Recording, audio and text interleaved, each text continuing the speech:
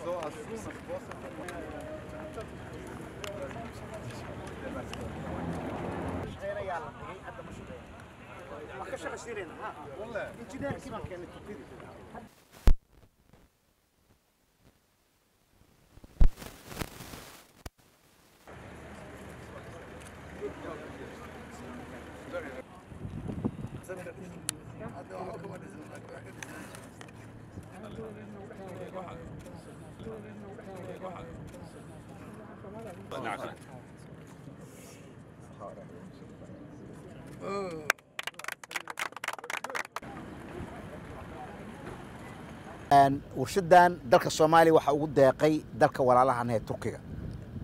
Ayada dhanba tan dhismaha tan qalabka tankida iyo tan dharka ciidamadaba hase yeeshee muddo dhowr sano ah laga soo bilaabo laba kun iyo lix iyo tobankii ayay qaarna iska yaaleen qaarna howlgab ahaayeen.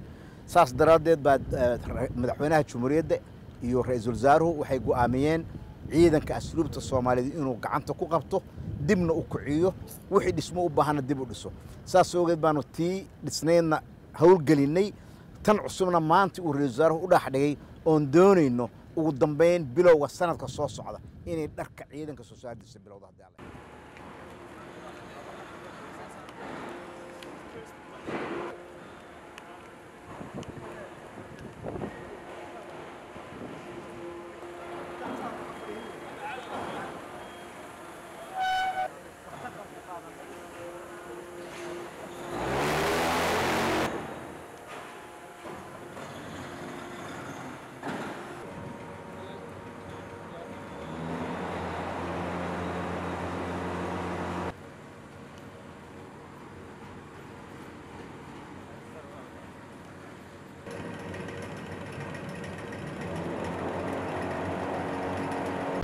bulshadda la dhagax dhigay?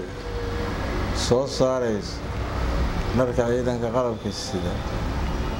Waxay dawo u noqonaysaa dhibkii iyo dharka dibadda laga keenayo isnaacyo ahaa muhiimad weyn waxay u leedahay dalka iyo ciidanka qalabka sida marka waxaa laga raysanayaa wixii dibadda laga heli jiray ayaa laga kaaftoomayaa insha allah.